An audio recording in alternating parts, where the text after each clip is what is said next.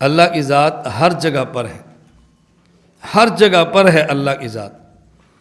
अब जो बातें समझ नहीं आ रही, वो कुछ इश्कालात हैं। कुरानी आयत होगी, उसमें तावील करेंगे। तावील करने की वजह, ये समझ नहीं आ रही, अल्लाह हर जगह पर कैसे है। लिहाजा तावील कर लेंगे। ये आपके सामने अलमारी है, देखो। ये सामने क्या है? अलमारी। इस अलमारी में ऊपर तीन खाने हैं। नीचे एक खाना है बड़ा। तवज्जो रखना। ये अब अलमारी का जो पहला खाना है, हमने इसमें किताबें रखी हैं दस। हर किताब का जो हजम है, वो मसलन डेढ़ इंच का है। डेढ़ इंच मोटी किताब है। हमने दस रखी है, खाना पूरा हो गया। अब हमारे पास है कुरान करीम। और कुरान करीम का जो मुसफ़ है, उसका हजम भी डेढ़ इंच का है। और इसमें जगह इतनी है कि डेढ़ इंच के हजम की सिर्फ़ दस किताबें रख सकते हैं। अब हम इसमें कुरान करीम रखना चाहते हैं तो उसकी एक ही सूरत है, एक किताब निकालें और कुरान करीम रखें। जब तक एक किताब नहीं निकालेंगे, तब तक वहाँ कुरान करीम नहीं रख सकते, क्योंकि कुरान करीम को जगह चाहिए। वहाँ जगह है ही नहीं। अब तवज्जो रखना। अब अगर कोई बंदा ये कहे कि हमने एक किताब निकाली भी नहीं है और कुरान करीम रख दिया है। किसी बंदे का दिमाग इसको कबूल करेगा? कभी भी नहीं करेगा। क्यों? इसलिए कि कुरान करीम का हजम है, उसका जिसम है, उसको जगह चाहिए। जगह है ही नहीं। कैसे रख दिया आपने? आप कुरान के हाफिज हो? आप हाफिज हो? आप हाफिज हो? खड़े हो। ये कुरान करीम का हाफिज है। मैं आपसे पूछता हूँ कि कुरान करीम इसके दिल में या दिमाग में, जो भी आपका जहन है, कोई कहता है दिल में है, कोई कहता है दिमाग में है, मैं इस पर बहस नहीं कर रहा, कुरान करीम कहाँ होता है। आप समझते हैं कुरान करीम दिल में होता है। इनके दिल में कुरान करीम है? आप सबको यकीन है कि हाफिज है। इनके दिल में कुरान है? आपके जहन में क्यों नहीं आ रहा कि भाई इसके दिल में तो जगह ही नहीं, कुरान करीम कैसे है? समझो, दस किताबें पढ़ी हैं, कोई बंदा कहे, जी, मैंने उस्ताद जी वहाँ कुरान करीम कहाँ रखा है? अलमारी के खाना नंबर एक में। पहले कितनी किताबें थी? दस। आप सब हंसोगे। कैसे रख दिया उस्ताद जी? वहाँ तो जगह ही नहीं थी। ये कह रहे मैं कुरान करीम का हाफिज़ हूँ। आप कहते हैं, कुरान दिल में होता है। कोई कहता है, कुरान दिमाग में होता है। चलो, जहाँ भी है, अगर दिल में भी है, किसी को इश्काल आ रहा है कि वहाँ जगह ही नहीं है, इसने कुरान कैसे रखा हुआ है? दिमाग में जगह ही नहीं है, कुरान कैसे रखा हुआ है? यही तालब इलम कह दे, मैंने कुरान व अलमारी के खाना नंबर एक में जहाँ दस किताबें पहले थी, वहीं रखा है। आप मान लोगे? नहीं मानोगे।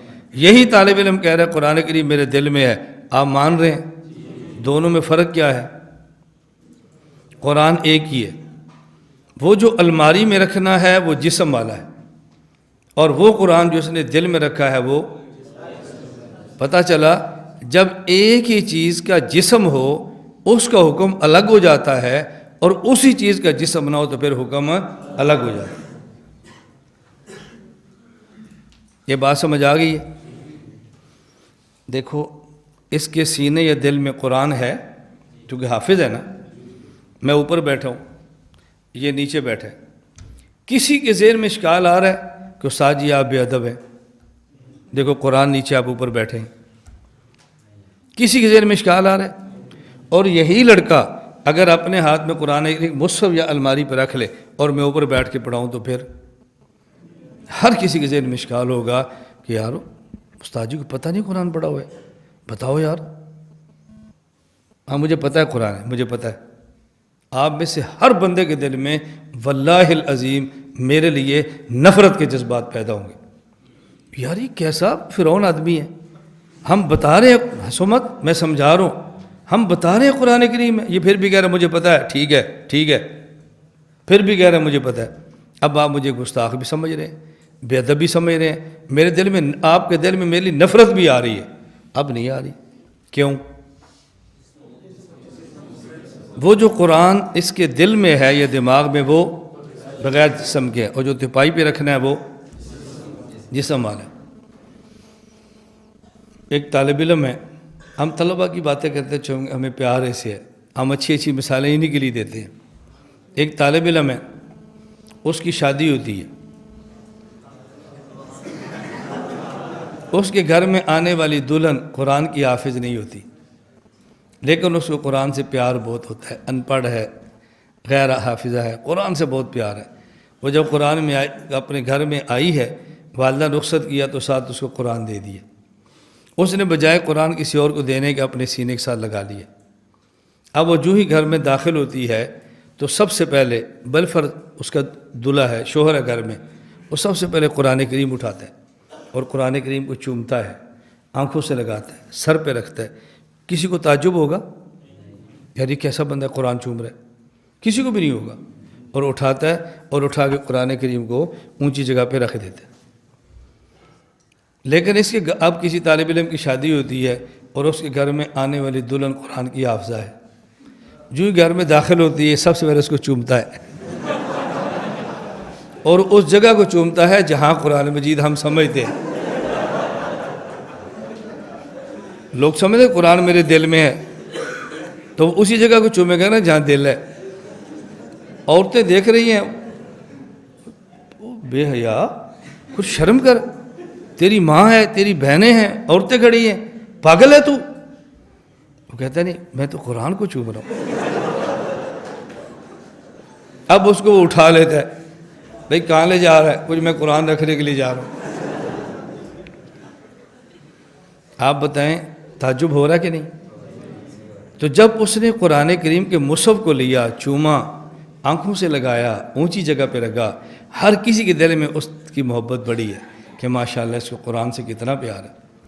और अगर यही कुरान वाली लड़की को यूँ चूमना शुरू कर दे, हर बंदे को ताजुब होगा, अफसोस होगा, इसको बेहया समझेंगे, कुछ अकल कर, कुछ शर्म कर। क्या कर रहे तू? फ़र्क है ना जी, फ़र्क है ये ये बात अच्छी तरह समझें। शादीशुदा आदमी है, वो घर जाता है। उसकी वालदा थी। वो बेड पे बैठी तिलावत कर रही थी। तो दरवाजे की दस्तक हुई। वालदा को ख्याल नहीं रहा, वहीं कुरान बंद किया, रखा और दरवाजे की चलब गई ये आदमी अंदर आया तो कुरान जी बेड पे दौड़ता हुआ जाएगा। कुरान जी उठा के सीने से लगा देगा। इस कुरान को नीचे नहीं रहने देगा। ऐसे ही है ना। हर किसी का ख्याल होगा, बहुत अच्छा आदमी। अदब का तकाजा था, ईमान का तकाजा था। और अगर वालदा दरवाजे पर ये दस्तक दे, वालदा दरवाज़ा खोलने के लिए आए और बेड के ऊपर इसकी हाफजा बीवी लेटी हो तो। ये उसको उठा के अपने सीने पर रख लेगा या उसके सीने पर खुद बैठने की कोशिश करेगा। अब ये सीधा दौड़ता हो जाए और अपनी लेटी हुई बीवी के ऊपर प्यार से लेट जाए। बात समझो, माँ के जेल में आएगा, मेरा बेटा गलत है। बोलो, अगर घर में बाप ने देख लिया वो ये तो कहेगा, बेटा, ऐसे नहीं करते, मुनासिब नहीं होता, तुम्हारी घर वाली है, अम्मा घर में है, दरवाज़ा बंद करो, तुम क्या कर रहे हो? लेकिन बाप उसको बुरा कहेगा। बोलो, अगर बहन की निगाह पड़ेगी, बुरा कहेगी? नहीं नहीं, इस वजह से कि बीवी के दिल में कुरान है। नहीं, दोनों में फ़र्क क्या है? जो माँ ने बेड पे रखा, वो कुरान जिसम वाला था। और जो बीवी के दिल में है, वो कुरान एक ही चीज़ का जब जिसम व हुक्म अलग है, और जब जिसम ना हो तो फिर हुक्म अलग है। दोनों में फ़र्क है। अब ये बात समझ आई, अल्लाह हर जगह पर है। रिस्तून में भी है। ये उलझन क्यों आ रही है? जिसम समझ रहे अगर जिसम ना समझे तो फिर, जब हम कह रहे हैं, कुरान इसके सीने में आपको उलझन क्यों नहीं है? समझते हैं बगैर जिसम के। और जब कह रहे हैं, अल्लाह यहाँ भी है स्तून में कैसे? है अब उलझन क्यों हो रही है? अगर अल्लाह को इसी तरह बग़ैर जिसम के मान लेते, जिस तरह कुरान को बग़ैर जिसम के मानते हैं, अब हर जगह मानने पर कोई इश्काल नहीं था। कोई उलझन नहीं रहती अल्लाह को हर जगह मानने पर। क्या उलझन है? मैं ये बात इसलिए कह रहा हूँ, बाकायदा बयानात में इस अकीदे के मुनकर अवाम को हमसे मुतनफ़र करने के लिए बाकायदा ये तरतीब इख्तियार अल्लाह हर जगह पर है। मेरी कुर्सी के नीचे भी है। और कि खुदा नीचे ऊपर कुर्सी रखी है। और कैसे बेदब हो तुम? अलयासबिल्ला ये ताबीरात क्यों हो रही हैं? उनके जेन में है कि अल्लाह और जब ये जेन में होगा, जिसम वाला नहीं है, कुरान इनके सीने में नीचे बैठा हुआ है, क्यों इश्काल नहीं है? बगैर जिसम मान लेंगे फिर तो कोई इश्काल नहीं है। हर जगह पर है। इसलिए हम कहते हैं, अल्लाह कहाँ पर है? और कैसे है? बगैर जिसम। ये बात समझ आ रही है अब। क्या अल्लाह ताला बैतुलखला में भी है? अगर आप कह दें, नहीं है, अकीदा टूट गया, हर जगह पर है। अगर आप कहते हैं, है तो हो सकता है आप खिला एफ़ आई आर कर दे, गुस्साख खुदा है, इसने खुदा को बैतुलखला में माने। हो सकता है आपके खिलाफ बंदूक मुतनफ़र करें। ये सब कुछ क्यों हो रहा है? तवज्जो रखना।